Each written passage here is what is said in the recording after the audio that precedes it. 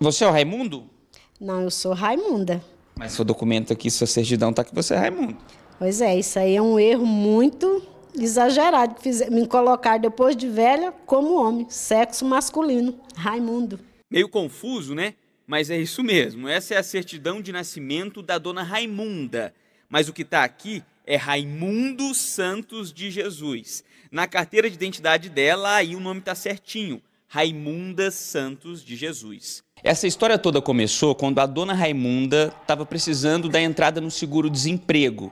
Só que o documento de identidade dela é esse aqui, ó, tirado em 1986. Estava muito antigo, não era mais aceito.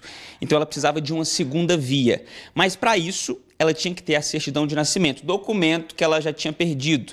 Por isso ela viajou até Sergipe, na cidade onde nasceu, Lagarto, para tirar essa segunda via. Eu cheguei lá, o rapaz do cartório falou para mim que lá no livro de registro estava errado. Tudo errado mesmo. Na carteira de identidade, a mãe é Pureza Maria de Jesus. Na segunda via da certidão de nascimento, é Neuza Maria de Jesus.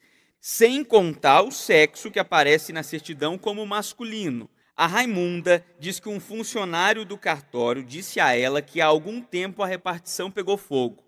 Por sorte, o livro de registro foi salvo, então o erro sempre deve ter existido.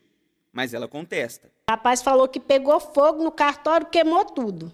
E como é que o livro de registro não queimou? E diz que desde quando eu nasci que está errado. Como é que está errado se eu me registrei?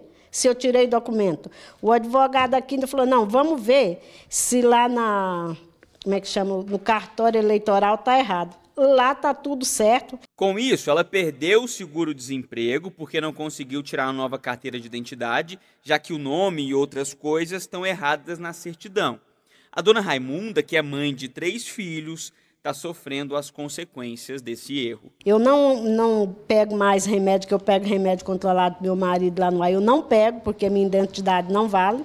Nas lotéricas, para me sacar um dinheiro, eu também não pego, porque a identidade não vale. Então, eu não faço mais nada sem identidade. E meus documentos, tudo é Raimunda Santos de Jesus. E aí está esse erro. Arrumar outro emprego agora também não dá? Não dá. Não tem como eu arrumar outro emprego. Então, eu estou de pé e mão quebrada. Eu não posso viajar agora para o Nordeste, porque eu não tenho condições para mim ir lá para mim arrumar esse trem.